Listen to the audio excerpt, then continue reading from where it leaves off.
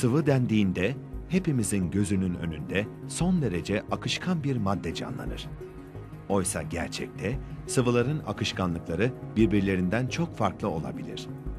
Örneğin katran, gliserol, zeytinyağı ve sülfürik asit arasındaki akışkanlık farklılıkları çok yüksektir. Bu sıvılar suyla karşılaştırıldıklarında ise ortaya çok büyük farklar çıkar. Çünkü su katrandan 10 milyar kat, gliserolden 1000 kat, zeytinyağından 100 kat ve sülfürik asitten de 25 kat daha akışkandır. Peki acaba suyun bu yüksek akışkanlık değerinin bizim için önemi nedir? Bu hayati sıvı biraz daha az ya da fazla akışkan olsa bizim için fark eder miydi? Mikrobiyoloji profesörü Michael Denton bu sorulara şöyle cevap verir.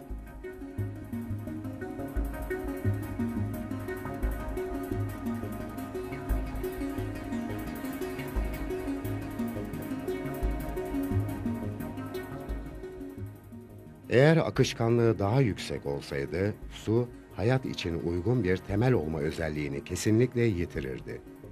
Örneğin akışkanlığı sıvı hidrojen kadar yüksek olsaydı, canlı hücresinin son derece hassas olan yapısı yaşamını sürdüremeyecekti. Öte yandan suyun akışkanlığı biraz daha az olsaydı, hücrenin tüm yaşamsal faaliyetleri fiili olarak donacak ve bizim bildiğimize benzer bir hücre yaşamı mümkün olmayacaktı.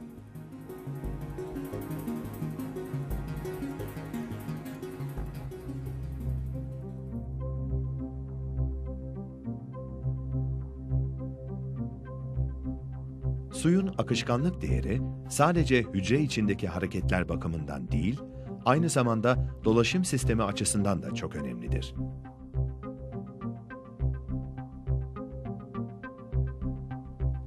Vücudun içinde çok sayıda hücre vardır ve dışarıdan alınan havanın ve enerjinin hücrelere bir takım kanallar yoluyla pompalanması, atıkların da başka bir takım kanallar tarafından toplanması gereklidir. Bu kanallar damarlardır. Kalp ise bu damarlardaki akışı sağlayan pompadır. Damarların içinde akan şey ise kan olarak bildiğimiz sıvıdır ve temel olarak sudan oluşur.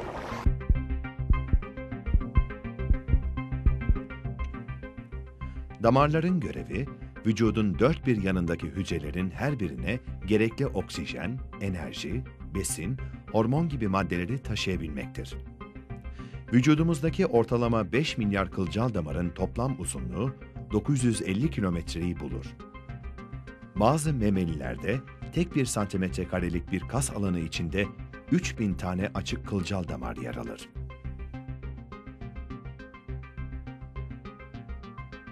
Kanın bu kadar daracık damarlar arasında tıkanmadan ve ağırlaşmadan hareket edebilmesi, suyun yüksek akışkanlığı sayesinde mümkün olmaktadır. Michael Denton, bu akışkanlığın birazcık bile daha düşük olması durumunda, hiçbir kan dolaşımı sisteminin işe yaramayacağını şöyle anlatır.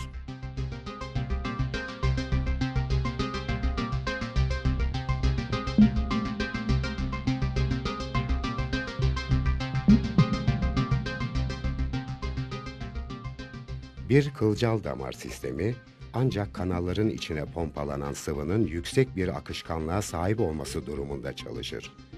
Eğer suyun akışkanlığı sadece birkaç kat daha fazla olsa, kılcal damarlardaki kan akışı için çok büyük bir pompalama basıncı gerekecek ve herhangi bir kılcal damar sistemi işlemez hale gelecektir. Eğer suyun akışkanlık değeri biraz az olmuş olsa, kılcal damarlar yeterli oksijen ve glikoz oranını ulaştırabilmek için beslemeleri gereken kas dokusunun neredeyse tamamını kaplayacaklardır. Açıktır ki bu durumda geniş yaşam formlarının dizaynı imkansız hale gelecek ya da olağanüstü derecede sınırlanacaktır. Dolayısıyla suyun hayata uygun bir temel olabilmesi için akışkanlığının şu anda sahip olduğu değere çok çok yakın olması zorunludur.